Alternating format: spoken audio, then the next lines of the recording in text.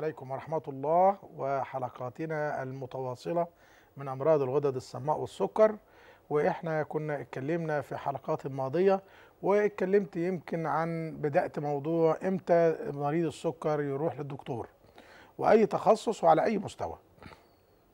لكن الحقيقة النهاردة أنا عاوز أتكلم في نقطتين مهمتين جدا وبيعدوا علينا وإحنا مش واخدين بالنا كمرضى أو كأطباء بيعالجوا السكر أو الغدد الصماء أو كل التفرعات دي. اللي هي صحة القدمين في مرضى السكر. والقدمين لهم أهمية خاصة. دي حاجة. الجزء الثاني اللي أتمنى يكون فيه ساعة من الوقت عشان نتكلم فيها اللي هي ال misunderstanding في تلقي معلومات الطب أو المعلومات الطبية. اللي هو عملية عدم الإدراك الكامل لتلقي المعلومات الطبية من قبل السادة المعالجين سواء كانوا أطباء عاديين أو متخصصين أو أساتذة أو ما إلى ذلك. نظرا لصعوبة المستوى الطبي أو الفهم الطبي للأشياء يعني ده لو واحد معلش مش عاوزين نزعل من بعض لو الواحد رايح بيشتري تلفزيون أو بيشتري كاميرا أو بيشتري موبايل جديد أول مرة يستعمله وقعد مع الراجل اللي بيشرح له الموبايل على ما بيفهم الموبايل ده ممكن يقعد ثلاث شهور. وهذا ليس قصور في ذهنه مع إن حاجات الموبايل مكتوبة في صفحتين يعني الصفحتين دول بيضطر إنه يفهمهم من ثلاثة إلى ست شهور مثلا على ما يطلع كل مميزات الموبايل اللي معاه ولا سيما لو كان حديث شوية. فهو ده بينطبي أو بهذا نفس الوضع بيتطابق مع الأداء الطبي على مستوياته المختلفة. يعني لو كان المستوى اللي بيتكلم عليه الدكتور مع المريض أو أهل المريض بيتكلم على مستوى الممارس العام يبقى زي الموبايل القديم. زي ما يكون اشترى موبايل اللي هو أول ما طلعوا سنة 2000 كده ولا 1999 أول ما الموبايلات طلعت كان هو يا دوبك يطلب الرقم بالعافية وندور في الفون بوك بتاعه اللي هو الأرقام المحطوطة فين. يبقى ده الدكتور الممارس العام. فبالتالي توصيل المعلومة السطحية البسيطة الغير سليمة في معظم أوضاعها تستقبل بسهولة جدا كما لو كان ده موبايل بدائي إحنا اشتريناه سنة 2000 نيجي الموبايلات بعد كده تطورت شوية بدأت ما كانتش بتشيل 100 اسم بقت تشيل 500 وتضاف فيها حبة حاجات إنها تغني وترقص وكلام من ده وتحط مزيكا وإن أنت تبقى الرنة ومش الرنة وتغيرها وتاخدها والبلوتوث ده الأخصائي. وكان الموبايل ده عشان تعرف تفهمه كويس تقعد أسبوع ولا أسبوعين لحد ما تقدر تفهمه. وده مستوى الأخصائي في الطب اللي هو متخصص معاه ماجستير أو دكتوراه جديدة أو ما شابه ذلك فبالتالي بيكون المعلومة اللي عنده إلى حد ما شبه معقدة ولكنها ليست بالمستوى الراقي جدا اللي هو يصعب فهمه. فيبقى الموبايل اللي إحنا الاولاني اتكلمنا عليه اللي هو بيتفهم خلال يومين أو أسبوع التاني ده بيقعد من أسبوعين لثلاثه وقلنا الأولاني البسيط ده زي الممارس العام الدكتور العام والتاني زي الأخصائي سواء معاه ماجستير أو بداية دكتوراه. نيجي بقى الموبايلات الجديدة اللي طالعة بقالها دلوقتي اللي هو ال Pad والآيفون والإم 4 والأخ فون. ده كله حاجات very advanced technology ومتقدمة جدا وعلى أعلى مستوى تكنولوجيا قد وصلت إليها أو أتيحت لنا في هذه الفترة. يقعد البني آدم على يفهمها ممكن شهر أو شهرين أو إيه ولا سبب. بتكلم عن الناس اللي يفهموها لأول مرة. مع إن اللي برضو الورقة المكتوبة أو الكتيب اللي بتاخده عبارة عن 20 30 صفحة المفروض تقراهم وتفهمهم وتطبقهم. ولكن هنا القصة إن هي بتبقى هاي تك يعني تكنولوجي عالي. ده بقى مستوى الأساتذة ومستوى المتخصصين والمتمرسين فمن هنا يصعب فهمهم. ويصعب إن إحنا نقدر ندرك ما يقولونه ودي المشكلة اللي بتواجهنا كلنا لأن بعد كده بيحصل نوع من أنواع الخلل في التواصل مع المريض أو مع أهل المريض على مستوى الفهم اللي هو. وبدليل أنا أقعد أتكلم طول الحلقة مثلا 30 دقيقة وأقول إن معدلات السكر في الدم سواء عالية أو مظبوطة أو منخفضة لا تؤثر في المضاعفات ولكن الذي يؤثر هو الانسولين الداخلي الذي يتم تخليقه داخل البنكرياس بنسبة لا تقل عن 20% ولا الناس بيتصلوا برضه يتكلموا على سكر 300 وسكر 200 هي هيها. حس إن أنا ما اتكلمتش بس ما ببينش إن الم... إن الحلقة لم تؤتي ثمارها في هذه الصورة. في اتصال؟ آية ست فاطمة مرحبا. ألو؟ ألو؟ أنا يا ست فاطمة. يا دكتور أنا أنا عندي حللت السكر أنا بخس جامد جامد. نعم. وحللت السكر طلع صايم 105 وفاطر 120 طيب. والغدة نشطة بسيطة يعني مش قوي. وإيه؟ وأنا بخس جامد خصي خسيت 10 كيلو. لا يعني أنت حضرتك بالك قد إيه بتخسي؟ ألو؟ نعم. حضرتك بالك قد إيه بتخسي؟ بخس جامد يا دكتور. يعني من ست شهور ولا من سنة ولا سامعه والله مش سامعه من سنة. خسيت 10 كيلو. بجد والله ما فيش ما فيش ما فيش ست شهور وأنا عماله أخس عظم على جلدي دلوقتي. الشهية كويسة ولا شهية سيئه سيئة؟ نعم. نفسك مسدودة ولا عادية؟ لا باكل عادي ما فيش حاجة. لا مفيش- باكل والله. حاضر. مفيش إسهال ولا في أي حاجة؟ باكل. في إسهال؟ آه وعندي فيروس سي والفيروس خامس. الدكتور قال لي ده نسبة بسيطة وما تخافيش لكن مفيش آه، مفيش تضخم في الكبد ولا في الطحال. مش عارفة بقى الخسسان ده من آه خالص جدا. طيب آه حضرتك حللت السكر الصايم 105 ولا بعد نعم. الأكل 140 طيب أي أسئلة تانية؟ شكرا جزيلا إحنا هنجاوب عليها عشان ما ننساش. هي الخسسان يا جماعة في بلادنا العربية وفي مصر خاصة ثلاث أسباب. واحد مرض السكر. اثنين أمراض الكبد. ثلاثة الغدة الدرقية. هل معنى ذلك إن مفيش أسباب تانية؟ لا في حوالي 40 سبب آخر. ولكن هنا هنخش بقى في الأسباب المكلفة جدا اللي إحنا نشأ تماما على ما نستوضح هذه الأسباب. فهل أنا لما عملت سكر صايم وسكر بعد الأكل بساعتين ولقيته طبيعي زي ما هي عملت أكتفي بذلك؟ لا.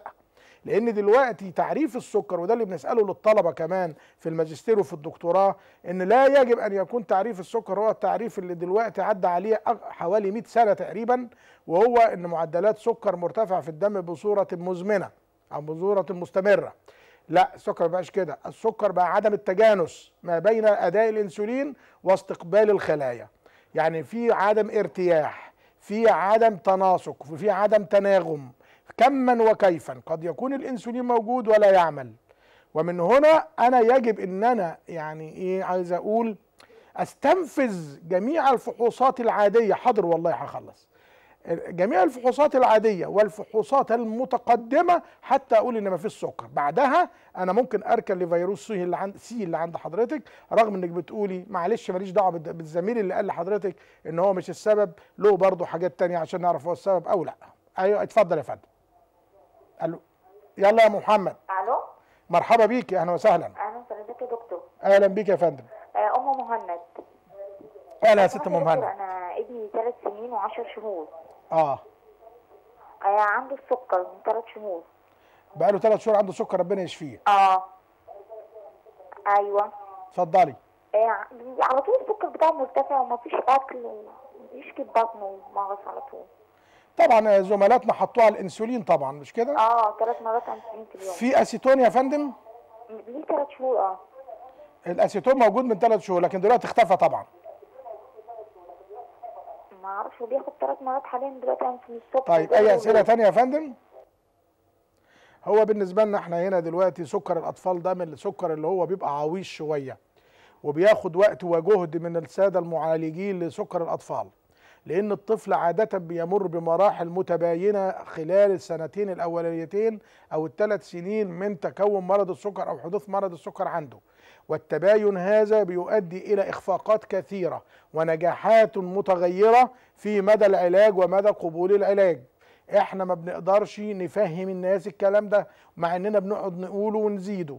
الجهاز المناعي بتاع الولاد الصغيرين دول عادة حينما يحدث سكر في الأطفال يكون الخلايا المنتجة للإنسولين صفر مش واحد في المية كمان صفر لا تتجاوز تلاتة في المية. نظرا لأن الجهاز المناعي ما بيلتهمش شوية وبيسيب شوية ولكنه يحصل استفاقة أو إفاقة للخلايا دي لأن بعضها بيتاكل تماما وبعدها بيتجرح بالبلدي كده. نتكلم اللي بتتجرح دي بعد خمس ست شهور ثلاث شهور تتصلح فيبدأ السكر يتظبط سواء بقى بعد شهر بعد اتنين بعد ثلاثة الفترة دي ما فيش حد يقدر يحددها. فاللي مجروحين يلموا يعني يلملموا جراحهم. وبالتالي يستعيدوا بعض وظائفهم. وهنا يبدأ السكر بتاع الواد ده اللي بنسميها فتره شهر العسل. هتقعد قد إيه شهر العسل؟ قد تكون أسابيع أو شهور. فمن هنا الفكرة إن بعد كده الجهاز المناعي مع أي نزلة معوية مع أي نزلة برد ولو كانت بسيطة بيستشري ويستفيق ويستفحل ويعيد مهاجمة الخلايا بشراسة. فالشوية اللي كانوا فاقوا وقاموا ودي المشكلة اللي بتقابلنا في الخلايا الجذعية أيضا. حينما نعطي الخلايا الجذعية بلادنا مليانة الحقيقة فيروسات. فيروس عمال يزور الحلق واللي بينزل على ال- القصبة الهوائية واللي بينزل على الشعب الهوائية والتالي اللي عمال مالي المعدة أو القولون أو الكلام ده يحصل شوية قيء شوية إسهال شوية وجع في البطن شوية زوره يحرقوا خفيف الطفل أو الطفل وبالتالي هنا الجهاز المناعي غير مستقر في بلادنا. ندي الخلايا الجذعية؟ آه طبعا ما نديها. ما نديهاش ليه؟ لأن أول ثلاث سنين في مرض السكر سواء للصغيرين أو الكبار بيحصل فيهم تكون المضاعفات. يعني بداية المضاعفات لمرضى السكر. الكلام ده مش كلامي ده كلام عالمي. تحدث في بداية ثلاث شهور الأولى ثلاث سنوات الأولى. وخلال السنوات الأولى تخرج هذه المضاعفات غير مرئية. يعني ما نعرفش نشوفها لأنها بتبقى بسيطة قوي. ي- طيب نكمل بعد التليفون. يا فندم؟ السلام عليكم. ست أميرة أهلا بيكي. أهلا وسهلا. دكتور؟ أهلا بك يا فندم. والله كان أنا كنت بستفسر من حضرتك بس أنا عندي السكر بينزل السكر واطي بيجي يبقى 68 ويوم ما عيلة كده يبقى 80 مم. بس عايزة حاجة بس ترفع السكر لأني باخد سكريات وجسمي عمال بيتخن. آه طب أنت وز... آه ضغطك ما بي... ما, بيز... ما بينقلش؟ آه لا ضغطي بيوطى برضه. بيبقى طيب. 90 على 60 شكرا. كم؟ الضغط عندي بيوطى بيبقى ساعات 90 على 60 هو- ضغط بيوطى والسكر بيوطى. طيب شكرا جزيلا. متشكرة على سؤالك. هو قال الثلاث حاجات أنا أهتم بيهم جدا. واحد إن وزنها آه، طب بس أكمل الكلام. فمن هنا الأطفال الجهاز المناعي غير مستقر. طب هل معنى ذلك نفضل ندي خلايا جذعية طول ما هو بي... آه ندي خلايا جذعية طول ما موجود. المدرسة الألمانية ما بتعطيش خلايا جذعية مرة واحدة للأطفال بتدي ثلاث مرات بين المرة والثانيه من ست شهور لسنة. طب إيه فكرتهم في كده؟ هو عاوز يحافظ خلال الثلاث سنين دول يبقى في 20% من الخلايا تعمل. ده الهدف مش علاج أبدي. يعني ده لو جه يبقى فضل من الله ونعمة. لكن وما يهمنيش معدلات السكر قد إيه. لأن يا جماعة إحنا قبل كده قلنا خمس حلقات ولا ستة إن سكر عالي من غير مضاعفات ما يفرقش معايا. يعني طفل طبيعي وبيروح المدرسة وبياكل وبيشرب والحمد لله عينيه مش هيحصل لها حاجة. مش هيحصل مثلا آه، ارتشاح في الشبكية ونزف في الشبكية وانفصال شبكي وقد يكون عمى في أحد العينين لا قدر الله. مش هيحصل حاجة في الكلى. اللي هو التهابات في الكلى ثم زلال في الكلى ثم فشل كلوي. مش هيحصل مشاكل في القدمين زي انسداد في الشعيرات الدموية اللي بتغذي القدمين اللي أنا هتكلم عليها النهارده باستفاضة. وبالتالي والأعصاب الطرفية وما بعد الأعصاب الطرفية في الذكور ما يحصل عدم القدرة الجنسية. بشوف رجالة عندها 25 سنة و30 سنة يا عيني ما عندهمش انتصاب. فدي كارثة محققة يعني وبعضهم ما بيتجوزش طبعا. فده ده يعني الكلى الأعصاب الطرفية ال- تقرح القدمين الفشل الكلوي العينين جلطات القلب وجلطات المخ والشلل. هل ده كله ما يساويش إن أنا أدي خلايا جذعية أول ثلاث سنين مرتين وثلاثة؟ يستدعي ذلك. مش هبص بقى لمستوى سكر في الدم قد إيه. ما قلناش إن إحنا نخلي السكر عالي هذا لا أنا نقبله. ولكنه لو كان سكر منتظم مع خلايا تنتج الإنسولين أقل من 20% فالخطورة قائمة. يعني الخطورة هتحصل. بينما بينما لو كان السكر عالي والخلايا تعمل بنسبة تفوق تزيد عن 20% فالمضاعفات بأمر الله لن تكون قائمة. ارجع لل... لل... للست لل... اللي اتسألت آه، اللي هي بتقول ضغطي بينزل 90 على 60 في بعض سيدات أو البنات وكتير منهن ضغطهم 90 60 طب إمتى اعتبر ال 90 60 مش طبيعي؟ لو يصاحبه مضاعفات. يعني واحدة نازلة وبتركب الميكروباص وتركب التاكسي وبتتخانق مع جوزها ومش عارف إيه وبتعمل كل القصة دي ونقيس الضغط اللي 90 60 ولا نقول لها. it's okay مبسوطين وكويس. لكن واحدة حتى ضغطها 100 على 65 اهو يعني اعلى ولكن بيجي لها نوبات اغماءات عدم تركيز دوخة الدنيا تلف بيها آه يعني آه عدم تركيز آه ممكن تحس ان بيحصل حاجة بنسميها blacking out يعني الدنيا تسود في في وشها لو جت تقف مرة واحدة مثلا تحس ان الدنيا اسودت أو تحس إن الدنيا ابيضت خالص اصفرت قدامها أو يحصل لها شحوب يبقى ده لا نقبله. لأن ال- المستوى الضغط ده ليس مناسبا لسنها أو لحالتها. طيب سكر بينخفض مع ضغط بينخفض غدة كظريه سكر ينخفض مع ضغط ينخفض يبقى مرض في الغدة الكظريه سكر ينخفض مع عدم انخفاض الضغط يبقى زيادة نسب الإنسولين في الدم. أو معدلات تخليق الجلوكوز من داخل الجسم منخفضة بتدي نقص سكر. يعني زي أمراض الكبد أمراض الامتصاص بعد أمراض التمثيل الغذائي التي تحد من انسياب الجلوكوز داخل الدم. أعرفه إزاي؟ يبقى قلنا الغدة الكظريه انخفاض ضغط وانخفاض سكر وعادة الوزن ما يزيدش. طيب السكر أو بدايات سكر. يعني ممكن السكر بيجي في النوع الثاني من المرضى الأول الإنسولين يزيد يحصل انخفاضات في السكر. لأن الخلايا هنا بتكون متحفزة الخلايا كده بتكون متعورة. حلوة متعورة دي على فكرة. لأن الخلية المتعورة بتنز إنسولين. يعني هي مثلا المفروض الخلية دي فيها إنسولين محوشاه جواها وبيطلع على حسب بقى منظومة متكاملة. منظومة بتقنية عالية جدا إن الأكل بيأثر والجلوكوز بيأثر والهرمونات التانية والأكل هو بنشمه وبناكل يطلع الإنسولين على حسب الوجبة. أما في حالة ما تكون الخلية متعورة. الإنسولين هتنزه زي ما يكون واحد عنده جرح في إيده وبتنزل مية. هو ده الإنسولين. الإيد مجروحة بتنزل غير العرق. العرق إمتى اللي يطلعوا إيه؟ الحرارة العالية أو الرطوبة العالية. أو إن جسم الإنسان نفسه يكون سخن زي حالات مثلا بيكون عنده حمى. فبالتالي يبقى اذا عملية العرق عملية تخليقية سليمة فسيولوجية معقدة فيها نوع من النشاط بالنسبة للخلايا أن تفرز العرق. ولكنه إذا كان الجلد نزل عليه مية سخنة مثلا التهب والجرح. هينز مية. النز هنا عبارة عن إيه؟ ما ليس لا يخضع إلى ميكانيكية أو آلية متقدمة ولكنه عملية إيه؟ رد فعل عملية غير طبيعية. فهذا ما يحدث في الخلايا التي تنتج الإنسولين اللي بنسميها ال beta cell أو خلايا البنكرياس. اللي بيحصل بالظبط؟ إن بدايات المرض إن الخلية بتكون متعورة تقوم تنز إنسولين الإنسولين يخفض السكر في الدم. بله قياسات. هنعرف نفرق بين الاثنين نعم.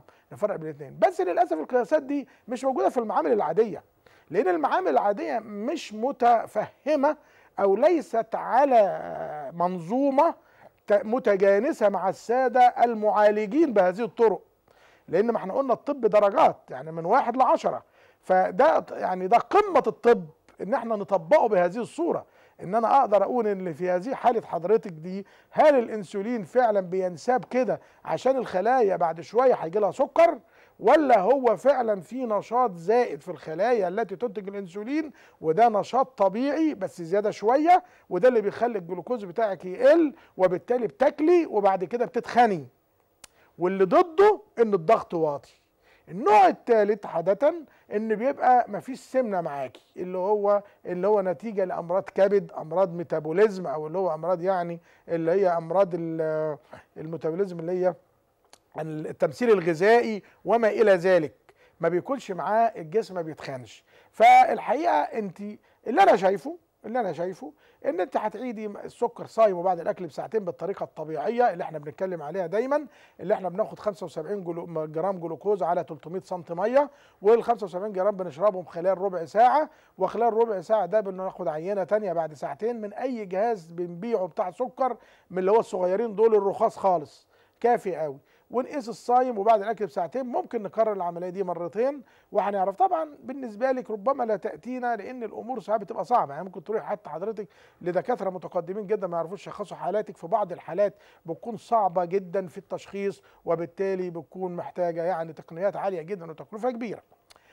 إحنا كنا واقفين على آه، كيفية إن المريض يستطيع أن يتفهم طبيعة ما هو آت به للطبيب. ولا سيما في الأمراض المزمنة مثل مثلا السكر أمراض الضغط أمراض القلب أمراض المخ. وأصعبها الحقيقة السكر ممكن يبان إن هو مرض متافه. يقول لك سكر بعد الأكل أكتر من 140 وبعد وهو والصايم أكتر من 110 ويتاخد بهذه الصورة. فده المستوى الموبايل اللي هو سنة 1000 أول ما طلع 2001 و2002 اللي هو كنا نفتحه تك نفتح ونطلع المكالمه على طول. هم بيشيل 100 رقم. تاني بعد ما تقدم شوية قلنا دخل عليه بقى مزيكا ومش عارف إيه ورنات و... ومسجات وحاجات زي كده كتير فبدأ يبقى متوسط مستوى الماجستير أو مستوى يعني كده. بعد كده بقى ال high tech والتكنولوجيا العالية إن هو نفسنا إحنا بنفهمه في شهرين على ما نطبقه كله لو كان لأول مرة. ونكتشف بعد الشهرين إن في حاجة أنا لسه ما كنتش واخد بالي منها. حد علمها لي ولا حد قالها لي. فما أدراك بقى أستاذ السكر ولا أستاذ الغدد الصماء ولا أستاذ ال metabolism أو التمثيل الغذائي حينما يست... عاوز يبسط معلومة في هذا المستوى الدقيق جدا والصعب جدا إن سعادتك عايز تستوعبه خلال حاجة يعني برنامج لمدة ساعة في التلفزيون لو شفت منه 10 12 ساعة أو سعادتك مثلا في مقابلة مع المريض مع الطبيب في مثلا في أثناء العلاج أو ما إلى ذلك هتفهم منه الموضوع ده في تلت ساعة أو نص ساعة؟ ومن هنا يحصل بقى ال disparity أو ال distortion. يعني يحصل الانشقاق وعدم التفاهم ما بين الطبيب والمريض. لأن ده بيتكلم بمستوى معقد جدا. اللي هو يمكن يكون طبيب آخر لو كان موجود يمكن ما يتفهموش. يعني لا يدركه. نيجي بقى على المصيبة الأكثر يعني الكارثة الأكثر حدوثا. الكارثة هذه قد تكون في أنصاف الأطباء. وانصاف أو أنصاف اللي هم الذين يتعاملون مع الطب. ال- ال- ال- ال- إزاي بقى بتيجي إزاي؟ اللي هي الذين يتعاملون مع الطب وليسوا بالواقع. والله جال لنا حاجات هي على المسجات نجاوب عليها على طول أحسن ننسى. أنا مريض سكري سكري يبقى أخي بالسعودية أو بالخليج وعمري 20 سنة ربنا يشفيه وطوله 167 سم ووزنه 64 كيلو ما, المز... ما الوزن المثالي؟ وسؤال تاني أريد فيتامين أو أي علاج يضبط الأعصاب. مفيدة وشكرا. أنا هقول لسعادتك وزنك وزنك أنت حضرتك 64 هو بالنسبة للعالم يبقى كويس. يعني لو زاد 2 3 كيلو بس في نقطة. أصل إحنا بنحط في الوزن وهو ده بقى لازم الكشف. الوزن بيخش فيه حاجة اسمها ال frame. يعني في ناس زينا إحنا كده أو زي أنا ال frame عريض يعني العظم عريض وفي ناس العظم رفيع. فلو انت حضرتك ده على حسب انت شكل الهيكل العظمي بتاعك شكله إيه. ولكن أنا اعتقد ان كده شوية صغيرة. يعني اعتقد لو انت زدت 3 4 كيلو كمان بقيت 167 168 متأسف. آه، بقيت 67 أو 68 أو حتى 70 كيلو هيبقى كويس جدا. الفيتامينات في مرض السكر ده كلام هراء كلام مضحك. والناس اللي عمالة تبربع فيتامينات عندنا مشكلة من اتنين. لو كانت هذه الفيتامينات من الفيتامينات التي بتدوب في الماء زي فيتامين دلوقتي B 12 اللي أنتوا بتاخدوه كلكم اللي هو بي تولفيكس ومش عارف إيه وحبة حاجات كده وحقن طخ طخ طخ طخ شغالين حقن. الحقنة فيها كمية فيتامين ب 12 تكفيك مثلا ثلاث سنين. وبالتالي إحنا ناخدها من هنا نط... تخش تنزل في البول بعد ساعة. واحيانا المريض يلاحظ حتى إن البول بقى لونه أحمر. يعني بندي كميات لا قبل لنا بها من الفيتامينات لا. النقطة الثانية قد يكون فيتامينات من التي تذوب في الدهون. ودام تذوب في الدهون ما تنزلش بالكلى. تختزن جوه الجسم زي فيتامين د مثلا أو فيتامين K. دول بيختزنوا جوه الدهن. وفيتامين A كمان؟ فلهم آثار جانبية شديدة جدا. يعني عرف إن الفيتامين A مثلا بيعمل تساقط شعر زيادته. ويعمل حاجة اسمها hypercarotenemia والجلد يبقى أصفر وحالته مزرية. وناس بيتكلموا إنه بيعمل عليه osteoporosis يعني يعمل هشاشة في العظام. فيتامين د يزود الكالسيوم قوي ويعمل مشاكل في الكليتين. وممكن يعمل حصوات. مفيش حاجة اسمها أنا ما بكتبش فيتامينات خالص. عالج أصل المرض والتقنية اللي هي يعني أنت راس المرض فين وعالجه. بعد كده هتحتاج فيتامينات ليه؟ كان زمان الفيتامينات موجودة لأن الناس ما كانتش بتاكل لحمة. اللحمة دلوقتي في كل البلاد الفقيرة والغنية ما تعتبرش وجبة غالية على فكرة لأن في منها أنواع. يعني لو إحنا جينا في مصر أي عامل في مصر بياخد 50 جنيه في اليوم ده أقل حاجة. في كيلو لحم ب 30 جنيه. كان زمان العامل بقى لو أنا هتكلم على زمان سنة 70 مثلا كان العامل بياخد مثلا خ- 25 قرش. كان كيلو اللحمة 40 قرش. يبقى اذا اللي هو النوع اللي هو الأدنى أو 35 قرش أيامها. فبالتالي ما كانش يقدر برضه يجيبها لكن دلوقتي يقدر يجيبها. يعني أقل عامل بيشتغل هتقول له ما فيش شغل شغل مال الدنيا بس عاوز يشتغل هيلاقي أنا مريض سكري برضه أخ من الخليج لا أعرف ماذا ماذا يمكن أن آكل في وجب الفطور صباحا. والله أصل الأسئلة دي يعني هي أسئلة بالنسبة لنا ما تزعلوش يا جماعة تعتبر سطحية قوي. آه ما برضه هجاوبها. الصبح أصل ما أقدرش أقول لك تاكل الصبح. هل أنت الصبح راجل بتقوم مثلا من النوم آه تقعد على المكتب ولا بتقوم تروح شغلة بسيطة تركب عربيتك أو سيارتك وبعدين تقعد على المكتب في التكييف ولا بتنزل حضرتك بتكون مثلا بتشتغل في شغلانات مهنية؟ يعني بتطلع سلالم وتنزل سلالم وت- وتروح وتيجي. فالوجبة دي بتختلف من واحد لواحد. ممكن نحط الوجبة دي مثلا تكون 300 سعر ممكن نحطها 700 سعر. على حسب. وبعدين على حسب وزن المريض أيضا. هل وزنه إحنا عايزين نزود وزنه ولا نقلل وزنه؟ وهل في أمراض مصاحبة لا قدر الله معاه مرض في الكبد يبقى لا الأكل هيختلف. أو مرض في الكلى الأكل هيختلف أيضا. فالقصة ليست يا جماعة على مطلقها. الكلام ده ولا يسئني جدا أما ألاقي الزملاء اللي هم بيشتغلوا في التغذية والكلام ده عمالين يتكلموا كده وخلاص وهم دارسين شوية إن البروتين الفول فيه مش عارف كام سعر والبطاطس أصلا ما بتتحط على ال- على المرتة بيمسكوا في بعض فيمسكوا مش عارف يعملوا إيه في الأمعاء فيطلعوا إيه ويودوا إيه كله كما لو كان كل البني آدمين طبيعيين. يبقى اذا كل البرامج التي تتحدث عن التغذية وما إلى ذلك تتحدث عن الناس الطبيعيين. حتى لو كان عنده سكر ما ممكن يبقى عنده سكر وكبد والكبد ده ما يعرفوش غير واحد تاني يعني حد جامد عشان يعرف يشخص الكبد. ما شافوش ما شافش علاماته أو عنده كلى أو عنده حاجة في الشبكية أو عنده حاجة في القلب وما إلى ذلك. فهذه الشواهد كلها يجب أن تكون مجتمعة ومحسوب حسابها يعني قد تم حسابها حسابها في حالة ان أنا هبدا العلاج. يعني العلاج هو عبارة عن منظومة متكاملة تتناسب مع كل مريض على حدة. أمي تعاني من مرض السكري النوع الثاني تتناول حبوب اسمها كذا. ماشي. الأعراض اللي تعاني منها الصداع والرجلين الأقدام وزنها بيقل قلة النوم التوتر العصبي. يا راجل دي الجنه يا راجل وتقعد معانا هنا شهر على ما نعرف نعالجها ونشخصها كويس. مش هقدر أجاوب السؤال الطويل ده لأنه في حاجات كتير جدا وكل يعني فقرة أو كل حاجة منه آه، بتبقى طويلة قوي آه، معلش يؤسفني يعني لو هتكلم على الحلقة يعني الصداع ده ممكن يكون زيادة سكر ممكن يكون نقص سكر ممكن يكون ارتفاع في الدم ممكن يكون زيادة الكوليسترول في الدم أو ما إلى ذلك.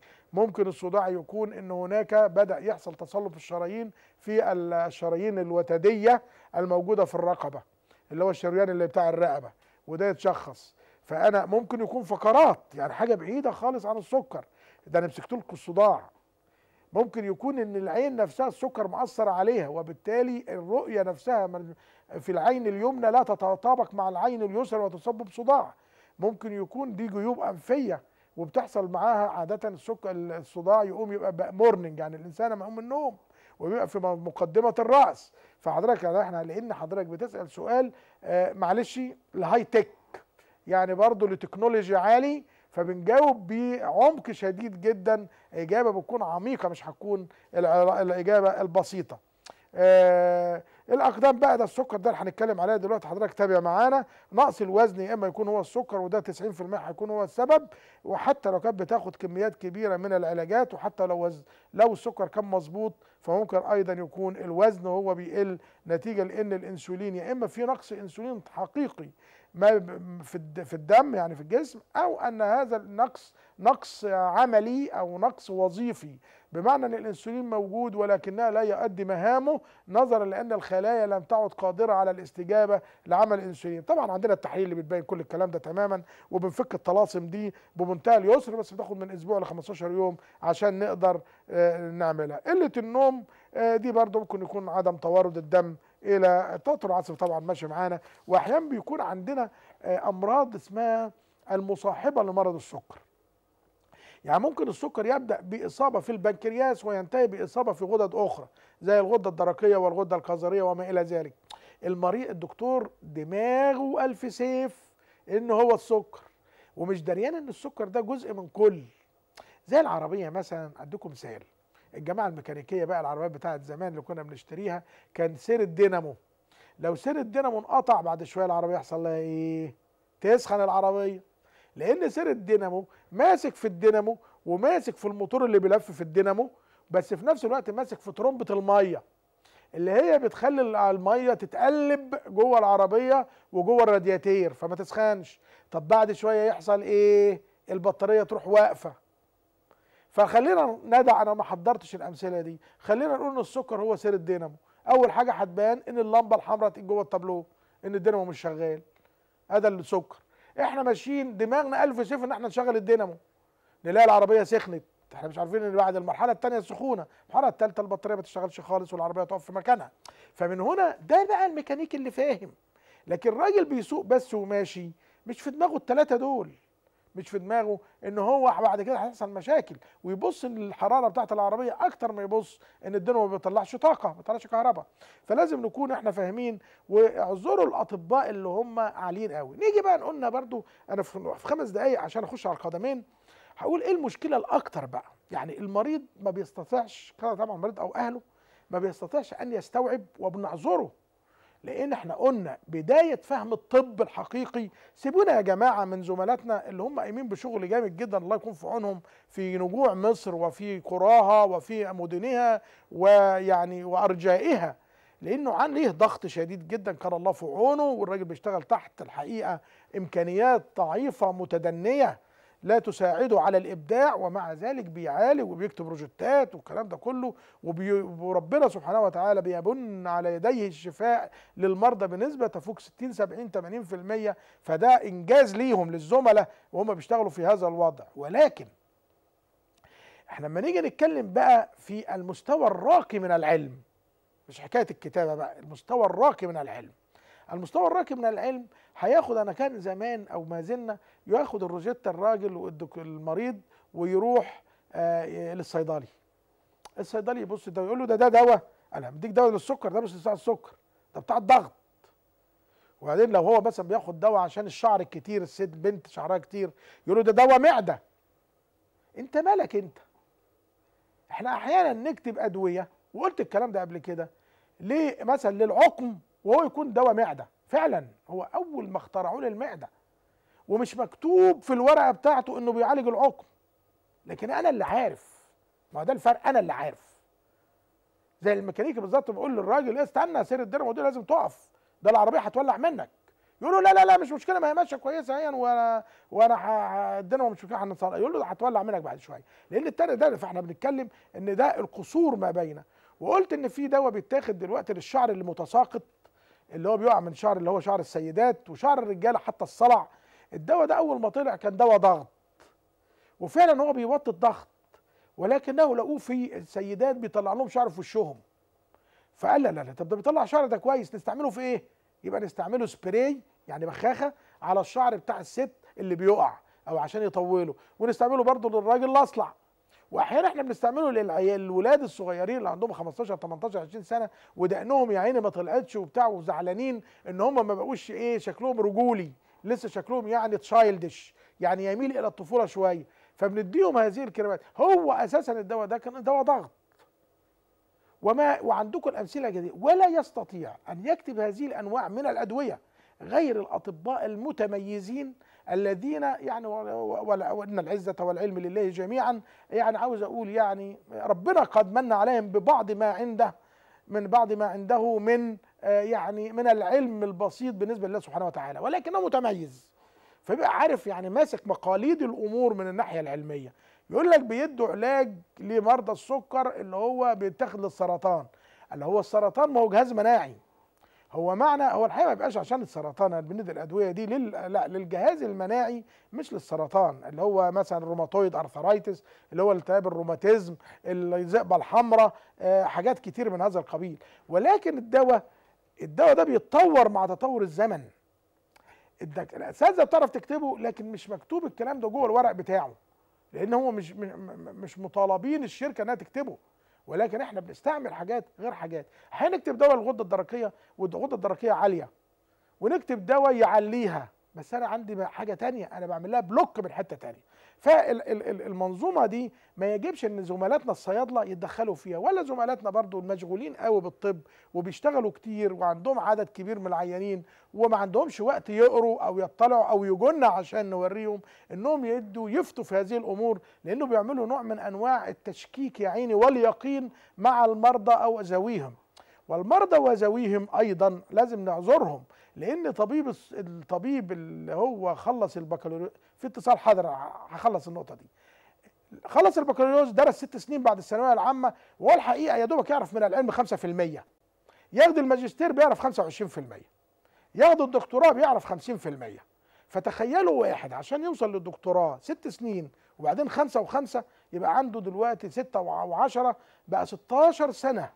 في الطب وعلمه لا يتجاوز 50% من العلوم الطبية. أمال يبدأ يفهم إمتى؟ أما يعدل 45 سنة. أهلا يا فندم. أهلا وسهلا. ألو؟ السلام عليكم. أهلا بك يا فندم. أهلا بحضرتك يا دكتور. صح يا دكتور أنا عندي زوج عنده 40 سنة وهو عنده سكر. نعم. وبيستخدم الإنسولين. وايه مش عايز ياخد إنسولين؟ لا هو عنده الصوت مش واضح يا بدأ جماعة. يستخدم من حوالي سنه آه، صوت سعادتك مش واضح ممكن بس حضرتك آه، أيوه يا دكتور أنا مع حضرتك. اتفضلي بالراحة كده وفهميني. اتفضلي. زوجي حضرتك عنده 40 سنة وهو بيتعالج بالأنسولين. عنده سكر وبيتعالج بالأنسولين. أيوه حضرتك وعنده فيروس سي. ربنا يشفيه. اللهم آمين يا رب. والفيروس سبب ال- الأنزيمات عليا. والانزيمات طبيعية. لا عالية يا فندم. عالية. كم مرة ض- ضعف الطبيعي كم مرة أيوه حضرتك الإنزيمات دي يعني مثلا الطبيعي مثلا إنزيم 40 اللي بيطلع بيطلع كام؟ لا مش عارفة حضرتك ممكن اماليها حضرتك في اتصال تاني.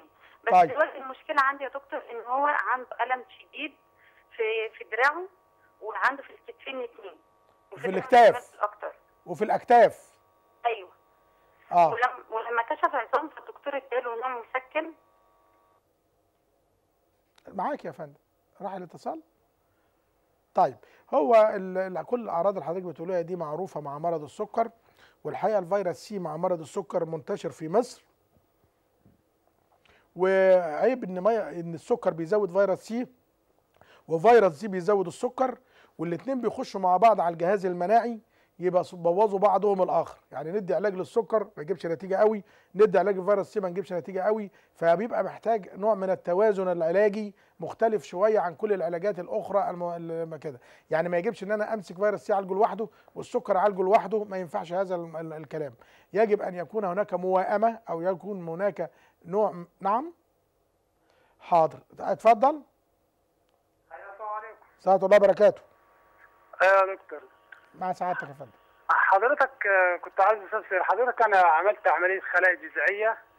نعم. آه، عند حضرتك ودلوقتي السكر بيرفع أكتر من الأول. آه. يعني حضرتك ألو؟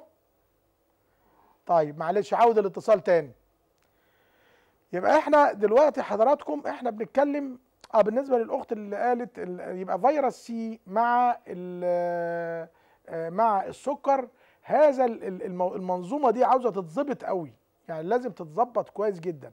الحقيقة كل ما الإنزيمات الكبد بتزيد هذا بيؤثر بالسلب على الأداء بتاع الكبد. فبيخلي الجلوكوز من هنا ما بيطلعش بالصورة الطبيعية اللي إحنا عايزين نقولها.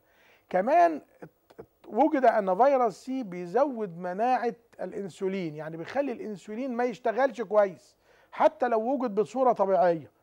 يعني الإنسولين يبقى موجود بكميات مناسبة جدا ومع ذلك ما يشتغلش. فلازم يا فندم نستبين هذه الأمور.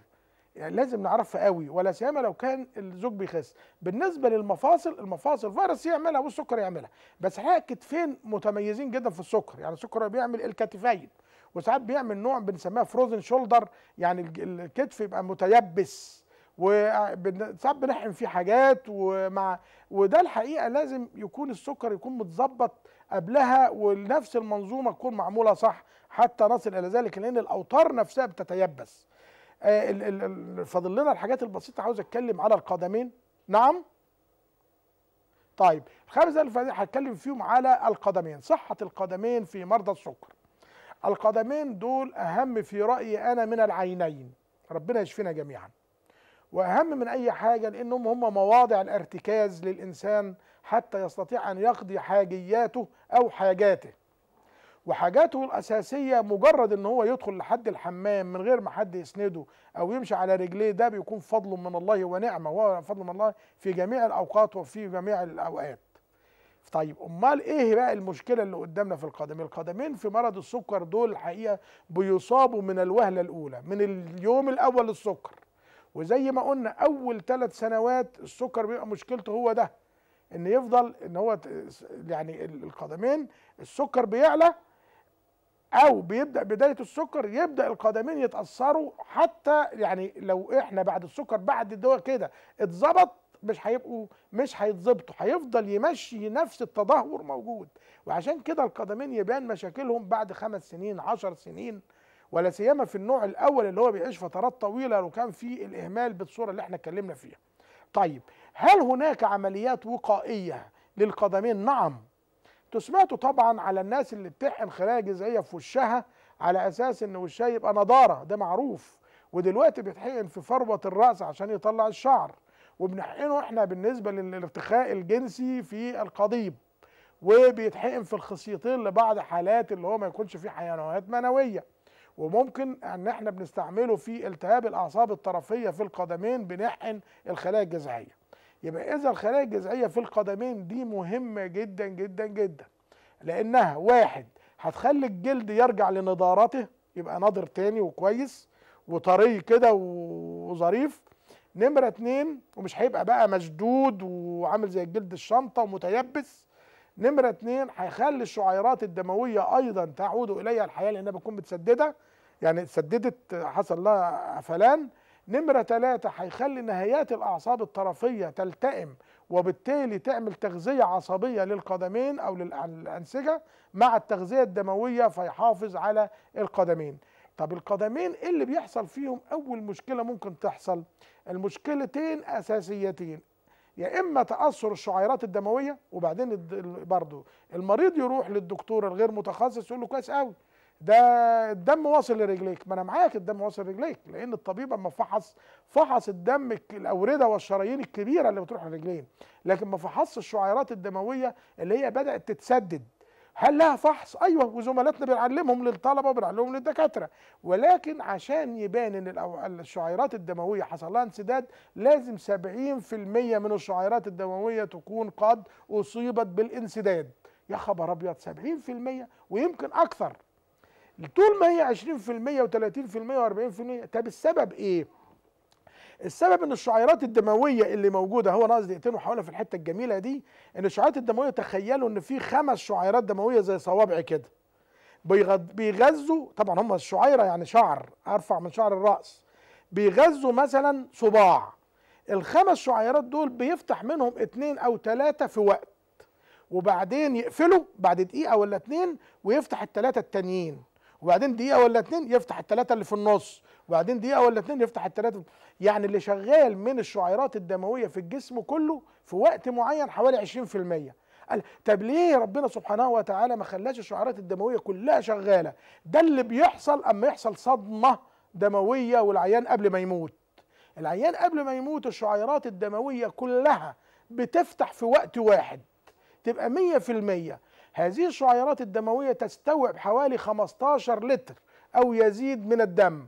وإحنا اللي بيمشي في عروقنا 5 لتر بس. فبالتالي يحصل كما لو كان الإنسان نزف نزف دمه كله ويحصل هنا الوفاة. يعني من ضمن أسباب الوفاة أن تستوعب الشعيرات الدموية كاملة كمية الدم كلها اللي في الجسم وبالتالي يموت المريض. فهنا بقى نرجعها عشان قبل ما نقفل على طول. يعني أنا عشان أشوف الشعيرات الدموية باظت قد إيه لازم تبقى 70% ليه؟ لأن اللي بيشتغل 30 أساسا.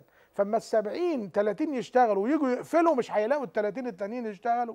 فتبان إن الرجل أو بتبقى ساعة سخنة يا باردة يا إما شكلها يعني بيل يعني شاحبة القدمين أو إنه يحصل بعد كده تبص لا تتغطى على رجل سواء هي بأي لون اللون ما يتغيرش.